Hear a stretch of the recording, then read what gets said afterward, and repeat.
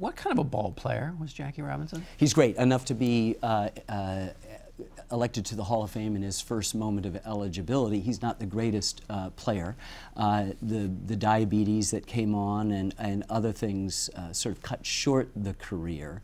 Uh, but he's dynamic. He changed the game. Buck O'Neil, the old late Negro Leaguer that we interviewed, we brought back a couple bites of his because he brought the Negro League baseball to the major leagues, which is, you know, before up to that, you got a guy on base and then you hit him home, right?